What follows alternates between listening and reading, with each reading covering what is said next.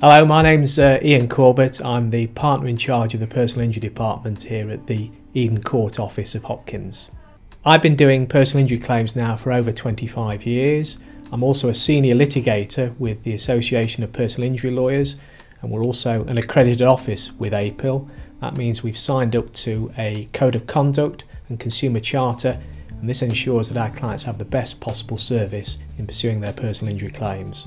All of this means that we've got years of experience of fighting for maximum awards of compensation for our clients for all sorts of claims, road accidents, accidents at work, industrial disease and medical negligence cases. With regard to making a compensation claim, many people still don't know exactly what's involved. Despite what you might read in the press about the compensation culture, compensation isn't dished out automatically just because you've injured and it wasn't your fault. Some accidents are just that, and no one else is to blame. However, by and large, if you can show that you've been hurt because of someone else's actions or omissions, then you should be entitled to compensation, even if you might have been partly to blame yourself. Paying for a compensation claim is something else that worries a lot of people.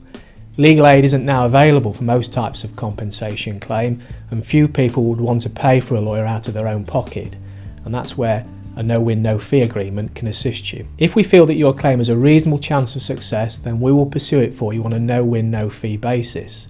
What that means is that if your claim succeeds you will get 100% compensation and we won't take a penny off you.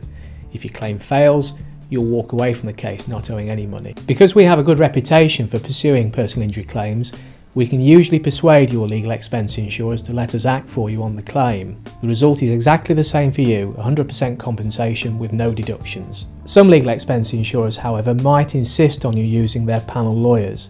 Don't be fooled by this. In fact, you've got perfect freedom of choice in terms of appointing your own lawyer.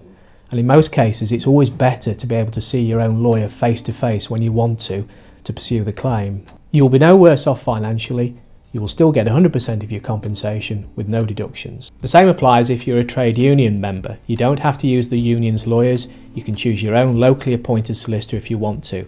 The same rule applies, 100% compensation for you with no deductions. If you wish to talk to us about whether it's worth pursuing a claim, then give us a call, come in and see us, or contact us via our website. We'll be able to tell you within a few minutes whether you've got a claim that's worthwhile pursuing.